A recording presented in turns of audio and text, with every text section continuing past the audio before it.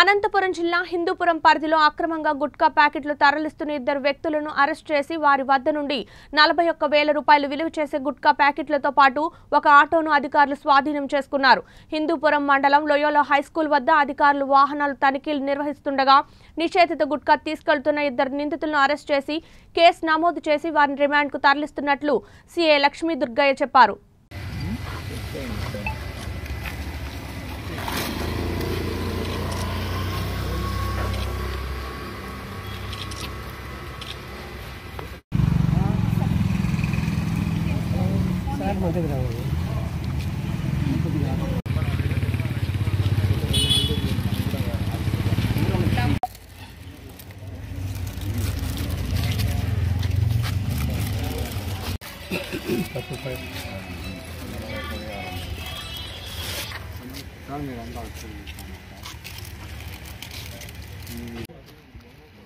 ఈరోజు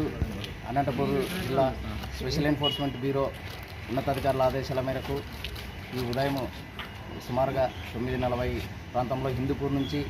ఉడిపికి మెయిన్ రోడ్లో లైవ్లో కాలేజ్ దగ్గర రాబడిన సమాచారం మేరకు ఈ నవాజుల్లా ఖాను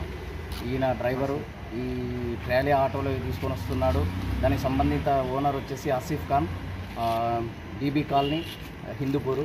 వీళ్ళు వస్తున్నారన్న సమాచారంతో మేము వెళ్ళి అక్కడ సమ సమీపంలో లైలా కాలేజీలో దాడులు నిర్వహిస్తగా మొత్తము ఈ పద్నాలుగు వేల